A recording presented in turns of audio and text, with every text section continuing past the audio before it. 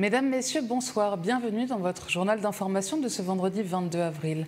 Merci d'être avec nous pour faire un point sur l'actualité martiniquaise et retrouvons tout de suite les titres que nous développerons dans le journal.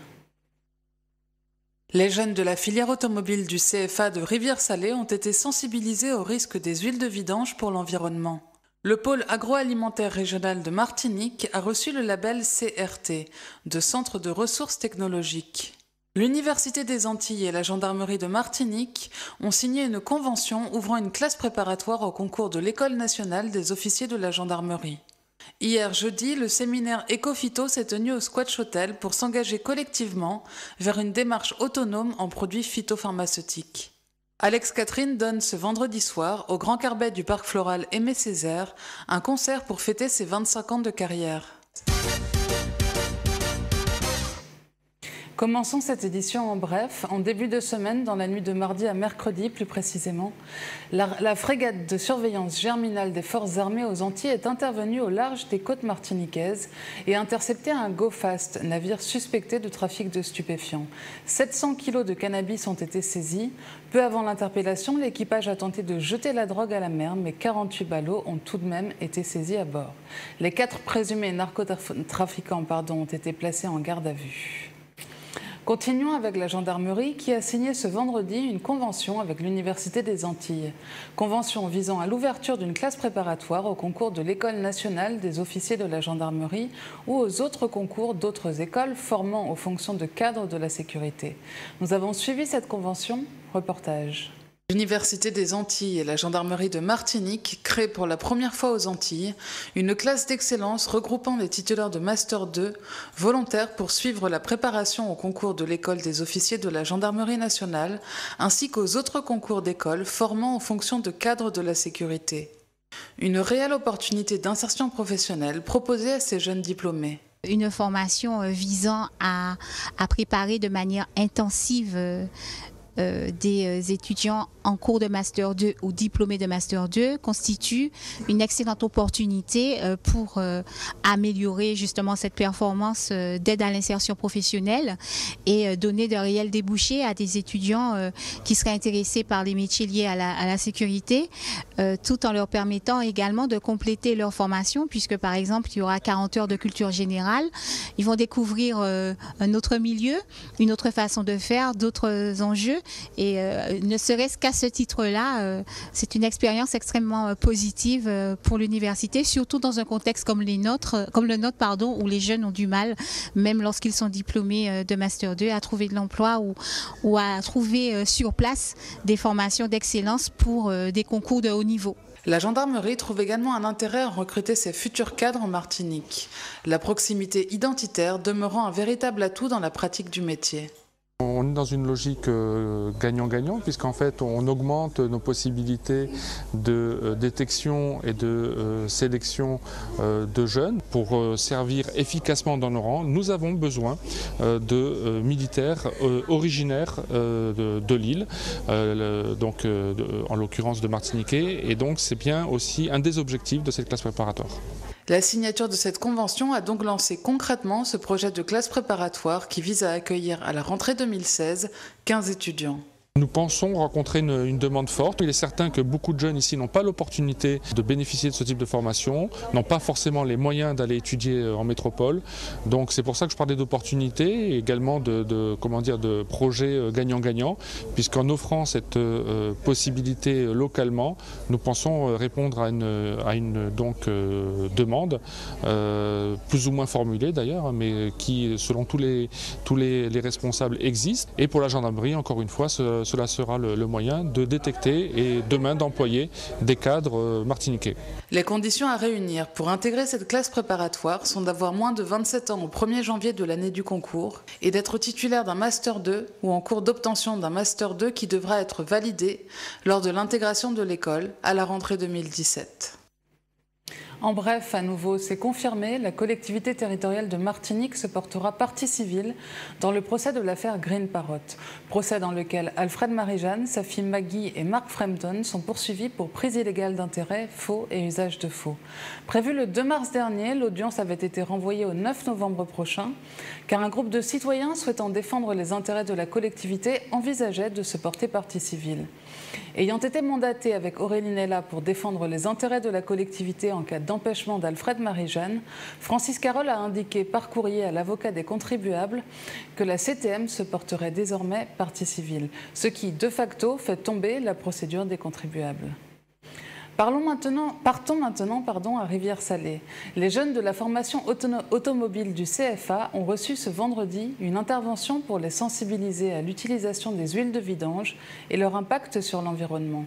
Manuel Montlouis a rencontré ses élèves. Reportage. L'ADEME continue sa prévention sur les risques liés à l'huile de vidange. C'est dans ce cadre que ce matin, les élèves de la filière automobile du CFA de Rivière-Salée ont été sensibilisés aux bons gestes en ce qui concerne les huiles de vidange hautement dangereuses pour l'environnement. Les jeunes présents ont pu recevoir les conseils de professionnels. Cette matinée d'échange, c'est vraiment un point euh, important et culminant de cette grande campagne qui a débuté euh, en février dernier. L'objectif, c'est de faire évoluer euh, les pratiques, les comportements. Les études que nous avons menées nous ont montré que les professionnels s'estimaient mal informés, insuffisamment accompagnés pour les bons gestes. Et donc l'objectif, c'est d'avoir une démarche proactive auprès d'eux. Cette opération se concrétise auprès de, de personnes qui, dans un avenir proche, vont devenir garagistes, vont avoir la gestion d'un d'un garage. Et donc l'idée, c'est de faire qu'ils partent avec des bases qui soient les plus solides possibles dans la gestion des déchets et euh, également sur le sujet euh, des huiles des usagers qui sont un des déchets qu'ils auront à, traiter. De nombreux partenaires s'inscrivent dans cette démarche de prévention en ce qui concerne l'huile de vidange. La Chambre de commerce et d'industrie de la Martinique en a compris les enjeux. Une des missions principales de la Chambre des métiers, c'est vraiment d'accompagner les artisans et les futurs artisans vers l'excellence. Et l'excellence, en ce qui concerne nos jeunes étudiants de l'Université des métiers, bah, c'est de bien apprendre les gestes techniques de leur futur, euh, leur secteur d'activité, mais c'est aussi d'être des professionnels responsables. Et aujourd'hui, un professionnel responsable doit être respectueux de l'environnement. C'est très important donc de pouvoir euh, avoir une formation donc, qui va englober donc euh, la technicité liée au métier, mais aussi préserver l'environnement. Et ces jeunes, donc euh, vraiment, donc euh, ce sont des, jeunes responsables. Et ils vont avoir à faire ce discours parce que quand ils vont arriver dans les entreprises, ils auront été formés donc sur l'environnement durable, comment donc ne pas polluer, comment ne pas mettre en danger bien les personnes qui vivent dans l'entreprise, qui travaillent dans l'entreprise ou autour de l'entreprise. Et ils vont aussi être euh, bah, des ambassadeurs, transmettre euh, bien ce qu'ils ont appris à l'université de métier dans leur entreprise. La collecte des huiles de vidange est donc gratuite pour les professionnels. Par ailleurs, l'ADEME peut fournir des aides pour l'achat d'équipements de stockage et de collecte. Poursuivons au Lamentin, au pôle agroalimentaire de Martinique. Le Parme recevait ce vendredi le label Centre de ressources technologiques, label qui lui avait été accordé par le ministère de l'Enseignement supérieur et de la Recherche en janvier dernier. Un reportage de William Zali.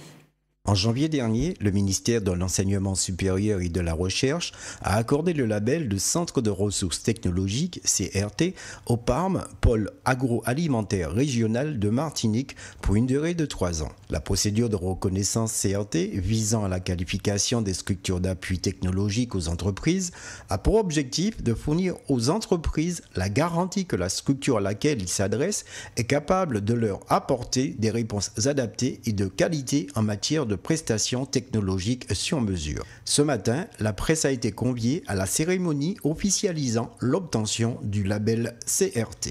C'est un label sur lequel le PAM doit s'appuyer pour mettre en confiance ses clients, ceux pour lesquels il fait des prestations. Mais également, c'est reconnu comme un centre de recherche expert. C'est un plus pour les entreprises. Mais il faut savoir que nous sommes le seul laboratoire en Martinique, mais de les Antilles, Guyane, à avoir cette labellisation. Nous l'avons donné pour trois ans. Donc nous aurons à cœur de faire en sorte que la qualité des services s'améliore pour qu'au euh, terme de ces trois ans, que le label soit reconduit. Nos enjeux pour maintenir euh, ce label, euh, c'est de poursuivre nos efforts en termes de réponse aux besoins à la demande de prestations d'entreprise. Donc bien identifier ce besoin de prestation, y répondre dans des conditions les plus professionnelles, avec dans le, dans le respect du cahier des charges du label, et faire en sorte que nos clients, nos filières soient toujours satisfaites du travail accompli par le PARM. Cette reconnaissance euh, me réjouit me réjouit euh, ainsi que l'équipe qui accompagne euh, le travail que nous faisons depuis 13 ans dans cet outil, qui est un outil innovant, qui se veut être au service des professionnels, des entreprises, des filières en particulier de Martinique, qui se veut être un outil de développement économique pour aider la diversification agricole et créer de nouveaux marchés porteurs d'emplois pour le territoire. Le PARM a un petit bébé qu'on appelle Innovagro et euh, je suis adhérent d'Innovagro. Et forcément, pour toutes les entreprises euh, de l'agroalimentaire, nous, nous sommes intéressés par les activités du PARM. Nous avions passé toute notre confiance et, le fait que le PARM soit labellisé aujourd'hui représente pour nous en fait que nous avions eu euh, raison de pouvoir placer notre confiance dans cet outil qui est le pôle agroalimentaire de la Martinique. Revenons à Fort-de-France, au Squatch Hotel, où se tenait hier un séminaire phytosanitaire visant à s'engager collectivement vers une démarche économe en produits phytopharmaceutiques. Une volonté partagée par les nombreux participants.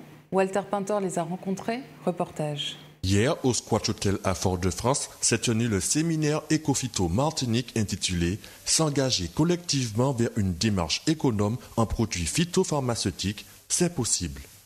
Le plan Ecofito 2 vise à fixer les orientations pour décliner le plan en Martinique et déterminer les pistes pour élaborer la feuille de route régionale. Plus de 120 participants ont échangé lors d'une table ronde et ont donné leur expérience de démarche agroécologique sur leurs exploitations et dans l'après-midi, quatre ateliers ont été mis en place afin de savoir comment réduire le plus que possible l'utilisation des produits phytopharmaceutiques. Écoutons Bertrand Atto, chef de projet Ecofito pour la Martinique, qui nous fait un bilan du plan Ecofito 1 et les perspectives du plan Ecofito 2. le premier plan Ecofito a été initié en Martinique en 2009. Il a eu euh, pour principal euh, objet de mettre en place les outils qui vont permettre aux agriculteurs et aux principaux utilisateurs de produits phytopharmaceutiques de baisser leur consommation de produits chimiques. Alors ces actions structurantes sont essentiellement euh, une formation professionnelle avec le certifito qui maintenant est d'application obligatoire et qui permet d'acheter des produits professionnels. C'est la mise en place d'un réseau de fermes de référence, le réseau DEFI, en bananes, cannes et ananas, qui permet de développer des nouvelles techniques économes en produits et de les divulguer au plus grand nombre. Et c'est enfin la mise en place d'une surveillance biologique du territoire avec la publication d'un bulletin de santé du végétal aux agriculteurs qui permet d'avoir les informations permettant de juger au mieux s'il faut traiter ou non. Le plan, Ecofito 2 a pour objet de renforcer les actions, les actions, structurantes qui ont été mises en place dans le plan Ecofito 1 et euh, il va mettre en place des actions nouvelles, euh, essentiellement pour amplifier les euh, actions du plan 1 euh, et des actions nouvelles qui ont été initiées à l'occasion du séminaire que nous menons aujourd'hui. La réflexion qui est aujourd'hui en cours et réunit l'ensemble des acteurs de la Martinique dans le domaine agricole, mais également les collectivités, et a pour objet de faire ressortir les nécessités en termes de moyens en termes de financement, en termes d'innovation, de démonstration, euh, d'outils euh, nécessaires afin euh, d'amplifier la mesure éco-phyto visant à réduire l'utilisation des produits. Après une synthèse des travaux en atelier et une synthèse de la journée, nous pouvons dire que cette rencontre fut porteuse pour tous. Une rencontre que vous pourrez faire ce week-end maintenant. L'écrivain haïtien pardon, Cito Cavé est présent ce vendredi soir dès 20h au bar Times à Fort-de-France. Puis demain samedi, il sera à 10h30 à la librairie Alexandre rue Lamartine, toujours à Fort-de-France. Et mercredi prochain à 18h30, il sera à la médiathèque du Lamentin où l'auteur animera des lectures, des débats à thème participatif et dédicacera son dernier ouvrage, Une rose rouge entre les doigts, et son album musical. Terminons cette édition par une rencontre. Alex Catherine, chanteur guadeloupéen de Zouk, est actuellement en Martinique. Pour ses 25 ans de carrière, il donne ce soir au Grand Carbet du Parc Floral Aimé Césaire un concert live. William Zali est revenu avec lui sur son parcours musical. Rencontre.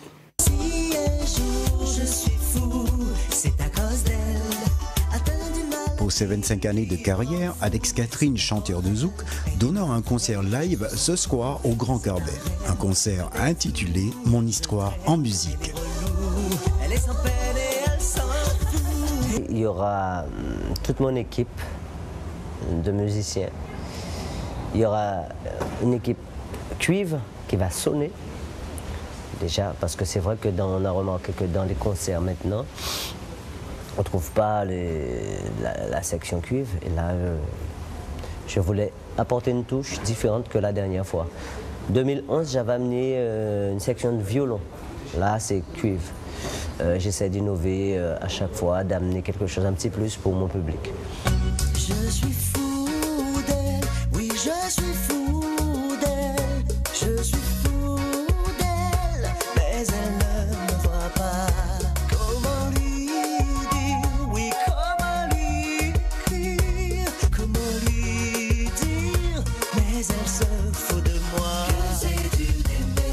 J'ai écrit cette chanson, je, pensais déjà à ma fille qui partait faire ses études.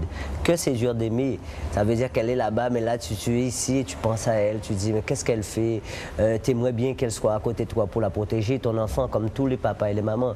Donc, je disais, mon Dieu, que c'est dur d'aimer. Et voilà. Et c'est comme ça que j'ai fait ce titre-là. Euh, à la base, que c'est dur d'aimer, ça a été fait pour euh, l'amour d'un père à sa fille.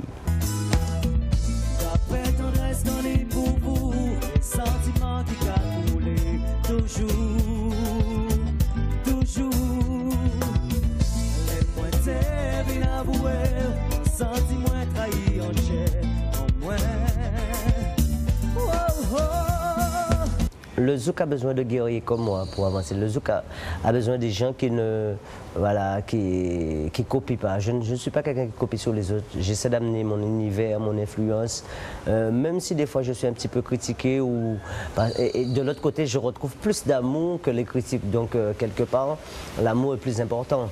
Si c'était pas bon ce que je faisais, euh, ben, ça fait longtemps que j'aurais choisi un autre métier. Son histoire en musique ce soir 20h au Grand Carbet avec Princess Lover et Eric Birgal en invité. Vive pépin, vive sans vous, sans vous, sans vous.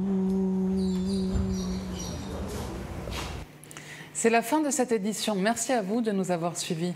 Dans un instant, retrouvez les informations nationales et internationales avec Euronews. Puis à 20h30, retrouvez votre émission Le Kiosque. Passez une bonne soirée et un agréable week-end sur Zouk TV. À lundi.